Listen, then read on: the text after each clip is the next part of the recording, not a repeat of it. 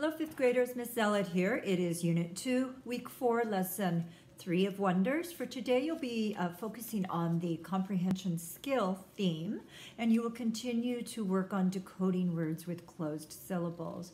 As always, please remember to watch all videos and do all activities in Kickstand, and also please do all your activities uh, on your Wonders to-do list. You have a great day, and I will see you soon.